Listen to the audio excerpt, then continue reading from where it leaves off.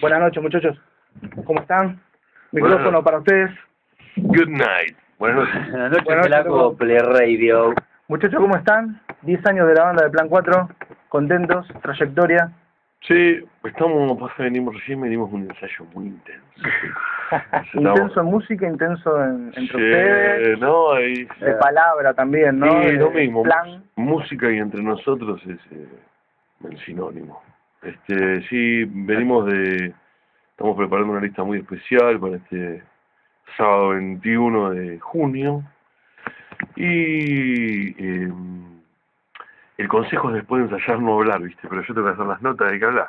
Bueno, claro, claro, tal cual. No, hicimos muchas, eh, vamos a hacer un set largo de 25 canciones, viste, para tratar de tocar temas del último disco de estudio que es Horizonte Rojo Sangre, cuando estábamos escuchando el libro de la serpiente, y eh, temas que no tocamos hace rato, va a haber algunas sorpresas, va a haber invitados, no muchos, pero muy buenos. Eh, y bueno, hay que cubrir un poco todo el espectro, son 10 años, son cuatro discos de estudio, y bueno, es el cuarto seguido que hacemos, venimos haciendo uno por año. Bien, venimos contentos. Cambio de piel 2005, Dos Caras 2007, Emil Pedazos 2010 y Horizonte Rojo Sangre 2013. Son cuatro discos, aproximadamente casi 10 años, de 2004, de que comenzaron, a 2013. ¿Qué, ¿Qué evolución vieron ustedes? Hay falta el DVD, que las cabezas rueden, Muy bien dicho. Y hay tres EPs. tres EP, sí. Eso, mira, cuando... ¿Tienen planeado sacarlo en vinilo? No, no somos... Viste que a veces está de moda. El tema Sí, es el dinero, no, es la, caro la hacerlo. inversión, Ah, ¿no? el También. tema del vinilo, sinceramente, la verdad, ni se nos cruzó por la cabeza. Es como un chiche Es o verdad. sea, es una movida. Nosotros tenemos, tenemos eh, Taura, Gaby de Taura lo hicieron y lo tenemos que mandar hacia afuera, es una movida importante. Como chiche, qué sé yo, no lo descartamos, la verdad sería zarpados tener un vinilo. Yo era de una banda llamada Santoro, media stoner, con los pibes de Natas y de Masacre, y Los natas sacaron en su época claro, también. hicimos Sí. un vinilo y hicieron Sí. afuera, Creo que todo. fueron los primeros. Yo me acuerdo de haber Sí, hecho nota sí, año eso 2002, tuvieron 2003. suerte, sí, Fueron sí, los primeros en hacer esa movida. Y no, les preguntaba justamente los cuatro discos. ¿Qué cambios tuvieron ustedes desde el primer disco hasta ahora? ¿Qué evolución tuvieron? Si, si notaron un cambio en, en lo que es el encare de la música y qué es lo que aprendieron también. No sé si vamos a estar de acuerdo, sí, seguramente que sí. El, tenemos, eh, hay un cambio muy fuerte en los últimos dos discos. En Mil Pedazos es un quiebre muy fuerte. O sea, disco a disco un poco, en dos caras ya tenés cosas que vas viendo, algunas estilísticas. En realidad, la idea que tuvimos en Cambio de Piel, que fue el primer disco, como que la terminamos, la plasmamos en Mil Pedazos. Creo yo que te- ahí encontramos en eh, Infire Studios, que es donde trabaja Javier Casas, que es donde ahí arrancamos con un productor externo, digamos, si bien la estructura de las canciones ya estaban prácticamente terminadas, Javi nos ayudó mucho en el tema de los arreglos, en el tema de conseguir un audio adecuado, porque en el metal, digamos, la producción pasa mucho por el au, por la ingeniería también. O sea, el audio, el sonido de la guitarra en sí ya es producción, no es pura y exclusivamente arreglos o no, no, es que ya es un productor de metal, es un- es- hay muchas veces que coinciden siendo el mismo ingeniero, que es el que te saca un sonido brutal de guitarras, de baterías, que es fundamental. Y con Javi pienso que ahí arrancó una etapa nueva para la banda. En Mil Pedazos y Horizonte Rojo Sangre tienen un nivel más alto que los otros dos a nivel producción y sonido, me parece. Definitivamente, me parece. sí, sí. Nosotros, o sea, Sí. el otro día lo hablábamos y es un poco eso. Nosotros en vivo, por suerte, eh, realmente teníamos algo de experiencia viniendo de Raíz y de Brede y de Carnarium, que, que de tocar ya sabíamos. Entonces, cuando vos sonás de los dedos, de cómo le pegás, en vivo, de alguna manera, si tenés un operador idóneo, equipos y un sistema que, que funciona, la banda puede mostrar, de la- tratar de llegar a la mejor manera, que creo que también nos costó, pero es un trabajo que, que estaba un poco más cerca del, del objetivo. Ahora, con el disco, con los discos, como decía Javi, nos costó un poco más, eh, pero creo que lo- lo- estamos ya muy contentos con el audio que tenemos en estos últimos dos discos. ¿Les costó cuando terminaron con Raíz y comenzaron con Plan 4 lo que fue la Argentina en aquel momento, el 2001, 2004, lo que fue lo económico, lugares para tocar? Sí, siempre lo económico nos pegó. sí. eh, por suerte, siempre arrancamos con una idea auto, de autoprotección, Ah. donde después también nosotros, bueno, no era el primer proyecto que encarábamos, ya cuando mismo hicimos Raíz ya teníamos varios años en la escena, cada uno, y un poco teníamos varios golpes encima, ¿viste? Entonces lo bueno es que con Plan fue como, estábamos bastante curtidos y armamos algo para que de alguna forma también nos podamos concentrar en hacer buena música, que las cosas se empiecen a generar a partir de ahí, que en realidad sigue siendo lo principal, más allá del apoyo, la estructura que tengas, hoy por hoy que está todo más democratizado y digitalizado, lo que importa es que vos, la, si la banda suena, es buena, toca, tiene buenas canciones, en algún momento va a llegar algo más, para tarde un poquito más, es lo que creemos nosotros por lo menos.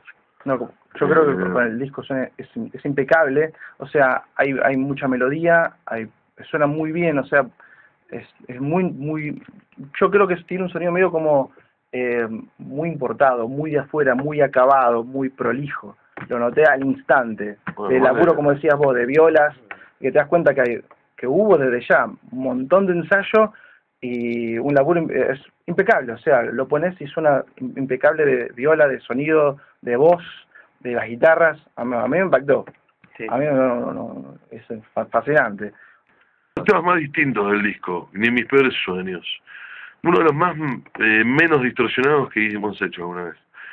Queda de fondo. Está muy bien, Gancho Justo dice bajó. Hicimos un video hace poco, El Nido de la Serpiente. Ah, No sé si están enterados. No, porque lo estrenamos el martes pasado Mirá, recién eh, en en Vorterix. No lo tenemos subido a YouTube. ah, con razón. que, eh, ¿Qué onda que estamos charlando recién del DVD? lo filmamos en 2010, eh, ahí en el teatro. Era, fue colegiales todavía. En el mismo lugar que vamos a filmar ahora, vamos a estar filmando para DVD el 21. Así O sea que va a salir en algún momento DVD o CD. el año que viene o el de otro eh, lo vamos a sacar. Eh, Una consulta, ¿cómo, cómo es la búsqueda de la, de la melodía? Ustedes de, de los últimos discos fueron incorporando melodías a, de a poco, fue, fue como pro- en progreso, digamos. Sí, igual. Y este último disco como también se, se nota Sí, sí, igual, igual te- desde el primer disco el tema Destino, ¿no?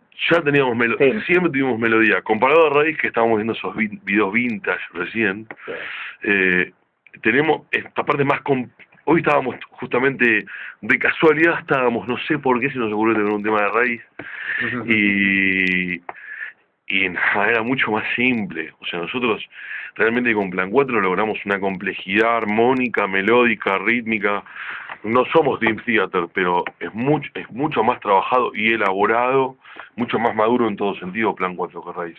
Raíz era mucho más simple más cuadradote eh, y nosotros ahora todavía siendo simples es más complejo que lo que era raíz así eh, así que no em, es una evolución en ese sentido fuimos evolucionando viste siempre y se ve en los discos viste también en un momento se ve La incorporación de las melodías, en realidad siempre estuvo, o sea, siempre estuvo, en el- nos encanta escuchar buenos discos, buenas melodías. ¿Pero cómo fueron incorporando eso, digamos? Porque como entre, entre el cambio entre Raíz y Plan 4, ¿cómo hubo ese cambio de...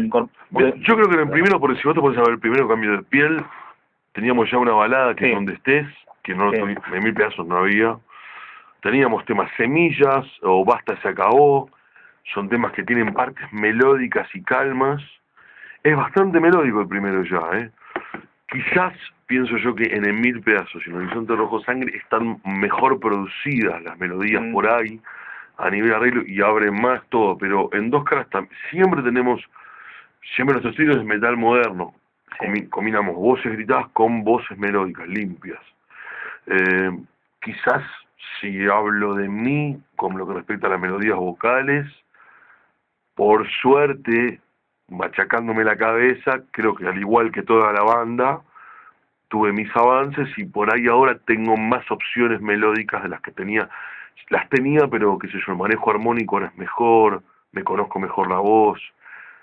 Todo en mi parte digo toda la banda pienso que tuvo una- un crecimiento. Bueno en el último también lo que sucede en Horizonte Rojo Sangre es que es el primer disco que está compuesto con media banda distinta. Está el Lechu solo en el bajo y ese Arias en la guitarra que como nosotros creemos en un proceso de composición, si bien siempre rompemos la bola y tenemos ideas y, y arreglamos cosas, nos gusta tocar con, con- principalmente con un guitarrista, ahora se nos sumó un bajista que aportó, pero siempre acostumbrados a Leandro Zuni, que era un guitarrista que aportaba. Entonces ahora de golpe dentro de Ezequiel y al año le estábamos pidiendo que nos traiga ideas y nosotros le traíamos ideas para que él toque y tuvo que el loco al toque, viste, y la verdad que enganchó bárbaro. Sí, es un, evidentemente, en Mil Pedazos fue la, el tercer disco con una formación y este es el primero con otra, así que quiero creer que si, las cosas, si todo sigue como el curso del universo, el que viene también tendremos avances y cosas más piolas con esta formación. Yo creo que de alguna manera, viste, los tres primeros también fue, fue un trabajo paulatino que fue increyendo, viste, o sea, Sí. arrancamos con un primero donde ya se veía la propuesta, en el segundo la fuimos perfeccionando, en el tercero creo que mejoramos en canciones y en audio, entonces se dio, mejoramos en canciones Sí. y audio y ahí cuando se alinean los planetas y bueno, creo que por suerte la gente también lo sintió así. Ahora, no es que es un disco de transición, pero es un disco donde, bueno, tenemos dos integrantes Con nueva nuevos, ¿viste? formación. tenemos dos integrantes nuevos y es un laburo El- también el- que vuelve a renacer. que estábamos hablando recién, nivel de composición, todos Sí. contribuyen, siempre hay alguien más que contribuye en lo armónico, en lo que es canto o en guitarra, en melodía, o todos por iguales.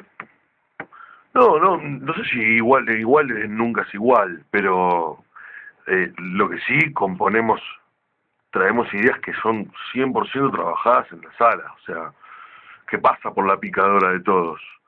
Cosas que Eh, descartan, sí, cosas que no. Los riffs mayoritariamente vienen del guitarrista, como siempre vinieron de Leandro, vienen de Ezequiel, pero no es eh, no, no, no sucede que, tra- eh, de- que realmente las canciones vienen y salen 100% como vienen.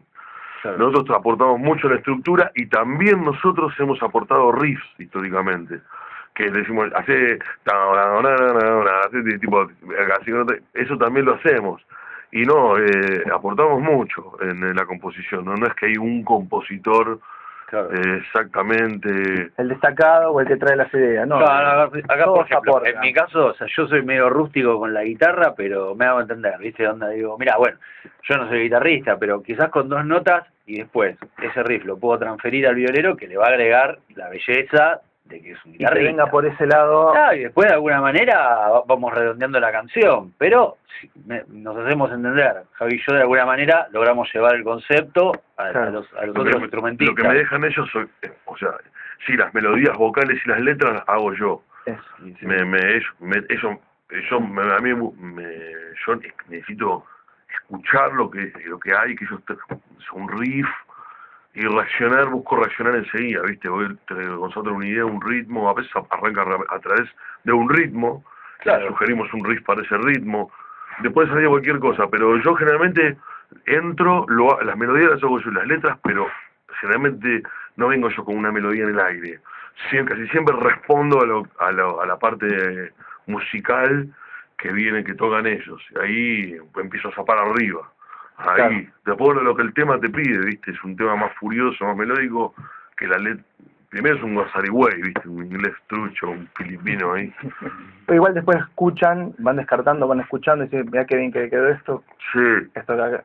¿Estás yendo a, a clases de canto? ¿En algún momento fuiste o estás yendo ahora?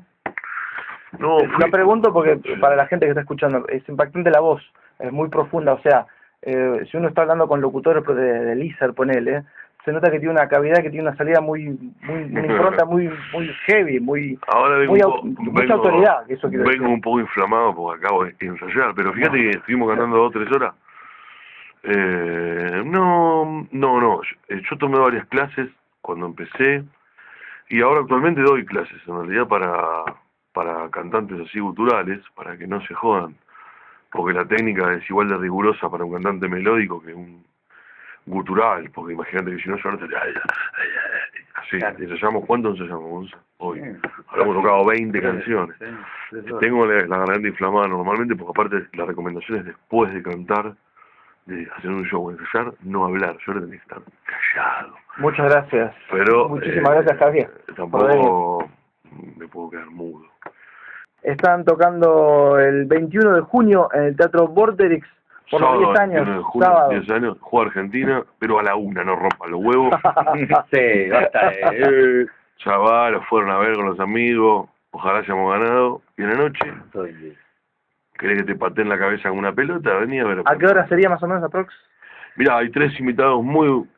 Es una fecha completa, porque hay tres invitados, son tres bandas muy buenas, son Coralis, una banda que Sí. la escena post-hardcore, las nuevas, que están dando muy bien. Un poco más extrema, ¿no? Que la tipo de... un poquito más, sí, más, Eh, este, más tipo más, un poquito más de mathcore tiene Claro, ese tipo de sí, estilo. sí, sí, sí. Eh, va a tocar eh, Pork, que es una banda muy buena de Quilmes, Pork, suena muy excelente. bien, muy muy bueno. Hace poco Ezequiel no pudo venir, nuestro guitarrista, a un show en Mendoza y vino Nino. Hicimos un ensayo y vino y la rompió, muy bueno, 15 muy bueno. temas de una. Sí, al toque. No, Uno de los dos violeros. sí. Que ha, ha sacado, el año pasado sacó un disco muy, mucho más pesado que los Eh, primeros dos. sí, sí, muy, Muy buenos, bueno. son muy buenos. Sí, son Y Cabezones va mirá. También, la banda de César Andino, somos muy amigos, de la época de raíz nos conocemos.